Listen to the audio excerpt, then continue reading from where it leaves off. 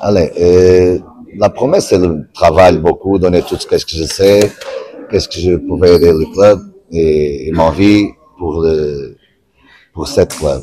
Mais aussi, je viens pour que aime, euh, aime entraîner, entraîner pour gagner le titre. C'est ça pour que je viens à Casablanca. C'est un grand club, non seulement africain, mais très connu tout le monde. Euh, le joueur, il fait très bien la dernière année. Ils ont gagné le championnat, gagné la coupe.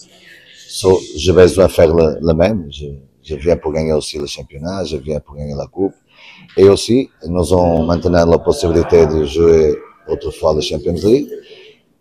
Alors, euh, nous pouvons parler de beaucoup de choses, mais devrait parler aussi tranquillement. Euh, et comme ça, nous avons un groupe très difficile, le Champions League. Et je, seulement deux vont, pas, vont passer pour le, la prochaine stage. Et comme ça, notre premier objectif est la Champions League est passer le groupe. Et après, on va voir, match par match, par match, qu'est-ce que nous pouvons faire. Mais c'est vraiment un objectif que, que si nous pouvons arriver, nous va, nous va prendre.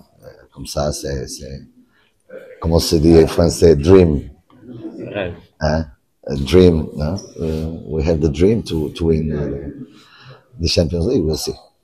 Euh, on fait que le Raja a une, relation spéciale avec le Portugal. Son premier titre du championnat était avec M. Cabrita. Cabrita. Ouais, le neuvième titre était avec M. José Romao. On avait un grand tifo du Portugal. Qu'est-ce que vous allez donner de plus dans cette relation? Je, j'espère faire minimum le même.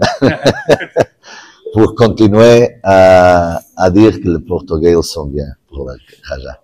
Merci beaucoup. Merci.